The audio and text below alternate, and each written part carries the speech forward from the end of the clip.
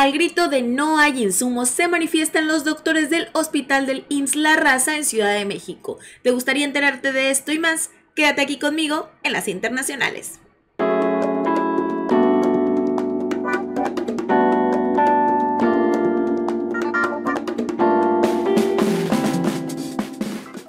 Hola, ¿qué tal mi gente bonita del internet? Yo soy Greti Segovia para este tu canal, Las Internacionales. Espero estés teniendo una muy buena noche de lunes. Hoy estamos a 27 de abril del 2020 y les traigo, ¿qué digo? Una noticia, un notición. Pero antes de iniciar con este video, te invito a suscribirte en la parte de aquí abajito, en la cajita donde dice suscribirse, le vas a dar y ya vas a estar suscrito totalmente gratis a este tu canal, Las Internacionales, donde subo videos todos los días con las mejores noticias del mundo y, por qué no, también de nuestro país. Estoy muy agradecida ya que ya casi somos 2.000 personas, cada vez vamos poquito a poquito creciendo en este canal y estoy muy agradecida.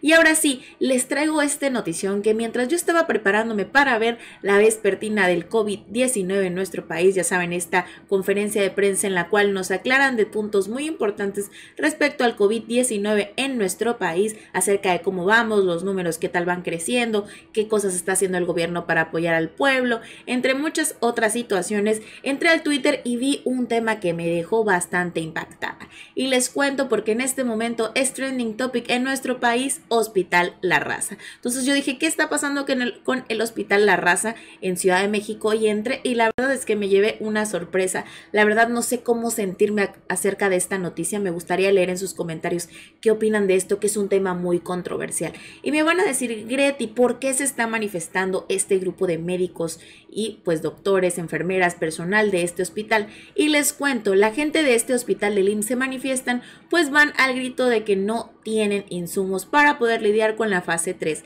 del coronavirus. Les cuento, un poco más acerca de esto. Se dice que el personal que se está manifestando es parte del personal de ginecología y obstetricia de este lugar, ya que como sabemos en la fase 3, pues los hospitales tienen que intervenir todo tipo de personal, es decir, doctores, enfermeros que aunque sean de otras áreas, pues tienen que intervenir para así poder apoyarnos entre todos y que pues se vaya pasando poco a poco esta pandemia del coronavirus en nuestro país y que se pueda atender de manera oportuna tener las camas, los ventiladores que como sabemos son cruciales para que las personas que se encuentran en un estado, pues digamos, de salud grave puedan salir adelante. Y es que como les comento, las manifestaciones no se han hecho esperar y al grito de no tenemos insumos, así es como se están manifestando. Me gustaría compartir con ustedes algunos videos acerca de esta gran noticia me gustaría compartir con ustedes un poco de la nota en donde estoy informándome acerca de esto. Hay muchísimas notas, por cierto, pero esta es la que me pareció más precisa y les cuento. Miren, personal médico que trabaja en el Hospital de la Raza del Instituto Mexicano del Seguro Social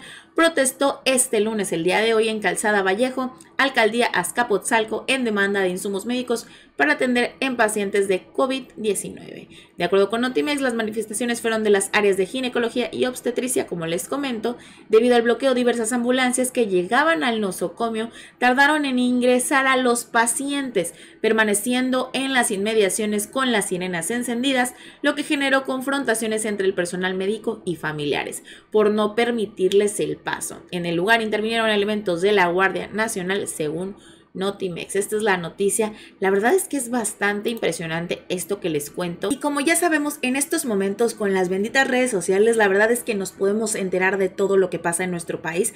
No se puede ocultar nada. Muchas personas yo he visto que dicen, ay, seguramente hay más contagiados, como no lo ven, seguramente hay mucha gente falleciendo por culpa del COVID, pero ya sabemos que en este momento el acceso a un teléfono pues es bastante sencillo y el que una persona te diga, y mucha gente también chismosilla y que pasa y graba. Entonces en este país y como en todos nos enteramos de todo lo que pasa gracias a las redes sociales. Me gustaría compartir con ustedes algunos de los videos que encontré acerca de estas manifestaciones que se dieron el día de hoy. Son tres pequeños videos que voy a compartir con ustedes para que veamos cómo fue esta marcha, para que lo vean con sus propios ojos y no me digan, Greti, me estás engañando. No, aquí está todo perfectamente bien. Buenas tardes, amigos automovilistas. Les comento que continúa cerrada la circulación en Calzada Vallejo a la altura del Hospital de la Raza. Como alternativa les sugiero puedo utilizar Avenida de los Insurgentes.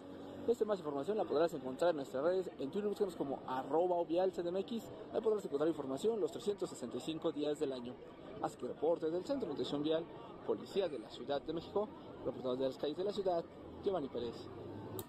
Esto lo publicaron, como lo dice en el Vial de Ciudad de México. Esto fue a las 4.45 de la tarde. Aquí tenemos otro video de la manifestación. Ahí solamente podemos ver un poco cómo están congregadas las personas. Aquí tenemos otro pequeño video. Queremos insumos, queremos insumos, queremos insumos, queremos insumos, queremos insumos, queremos insumos, queremos insumos. Ahí está. Y vámonos con el último video que tengo para ustedes. Lo tenemos por aquí. Aquí está. Vamos a verlo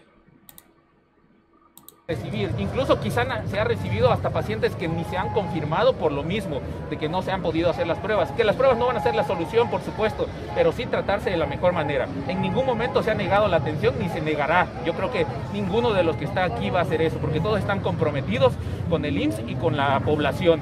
Pero no, de entrada somos catalogados como no COVID. No entendemos eso. ¿Por qué? Si tenemos pacientes y defunciones, ¿ya? Como casos COVID. Y viene lo peor, desafortunadamente. Gracias, doctor. doctor, muchas gracias.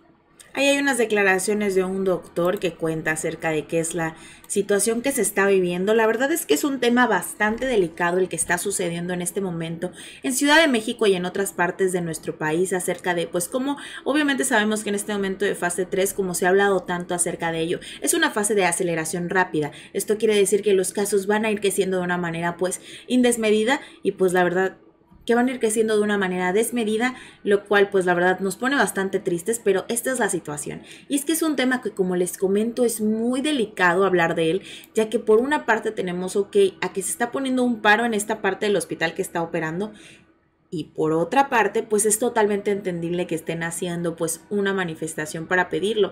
Pero yo creo que en este momento no es adecuado hacer una manifestación porque imagínense, estamos hablando que son personas que se encuentran pues con contacto directo o indirecto con pacientes, pacientes del COVID.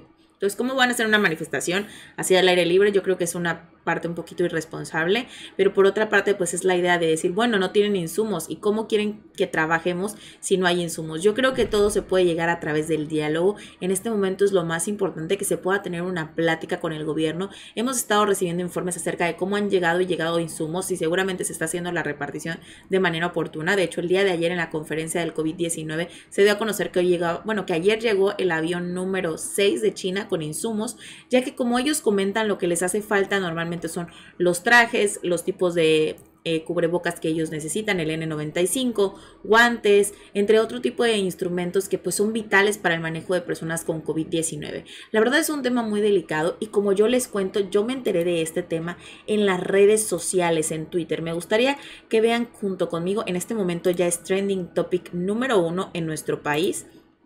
Aquí lo tenemos, Hospital La Raza. Le damos clic y vamos a ver, pues aquí está el video, un video de proceso. Los médicos y enfermeros dijeron que en el hospital no hay cubrebocas N95, guantes ni batas. Estas son las notas de las personas médicos del hospital Mancera del TUIM. Se van a paro por falta de apoyo. Así se ven tres meses de preparación. Aquí citan medicina interna no es el único servicio. Exigimos participación de todos los servicios en fase 3. Y ahora sí vamos a los más recientes que son los de las personas que están tuiteando en este momento. Personal del Hospital La Raza pide insumos. Estamos hablando de un hospital de especialidades. En estos momentos lo solicitan en Avenida Vallejo. Bueno, en realidad ya no lo están solicitando porque estaba viendo en la misma página de Vial Ciudad MX que ya dijeron que ya había tráfico normal. Eso fue hace un, me parece como una hora. Entonces pues ya terminó, pero pues apenas lo están tuiteando. Eh, ahí dicen que el presidente miente, que se tiene domado al virus. Bueno, eso es lo que estamos platicando el día de ayer. Yo no creo que sea una mentira. Yo creo que los números hablan por sí mismos, pero que nos falta mucho todavía por pasar, eso definitivo. Y que los insumos tienen que seguir llegando, tienen que seguir llegando. Aquí imágenes de cómo se está haciendo la manifestación Ver al personal médico del hospital La Raza pidiendo el material básico parte el corazón y llena de impotencia. Que no se nos olvide que ellos son los que están en la línea de fuego combatiendo el coronavirus y hoy son los más olvidados por este gobierno de cuarta. Eh, sí, me hubiera gustado el tweet si no hubieran puesto esta parte, la verdad, porque creo que en este momento el, atacar al gobierno está de más totalmente. Hay que, pues claro, puedes manifestar tu opinión, pero no de una manera así, yo creo, ¿no? Eh, aquí pone seguro está en el hospital de la raza atendiéndose, ¿verdad? Citando la noticia que les di hace un rato acerca de la secretaria Irma Erendira Sandoval, que fue paciente y es paciente en este momento de COVID-19, pero pues como sabemos ella está en este momento en casita. Y así hay muchísimas opiniones encontradas, mi gente bonita, de este tema que es sin duda bastante revelador, pero yo creo que en este momento es lo que hemos estado comentando siempre, hay que mantenernos unidos y nosotros si podemos hacer aportaciones pequeñas o grandes, hay que hacerlas, es el momento de actuar este. He visto que muchos youtubers que ya tienen una trayectoria pues amplia, que pues ya generan ingresos de esta parte, han estado haciendo donaciones. La verdad es que yo lo aplaudo y aunque no tengas ingresos por parte de aquí, si tú tienes tu propio trabajo y haces videos, todos podemos apoyar desde nuestra trinchera, pues sacándonos a lo mejor un, poquito de dinero, pero ayudándonos entre todos y de esta manera pues vamos a poder sobresalir de esta pandemia, que como sabemos, no quizás no tenemos todos los insumos, pero bueno, el gobierno está trabajando en ello.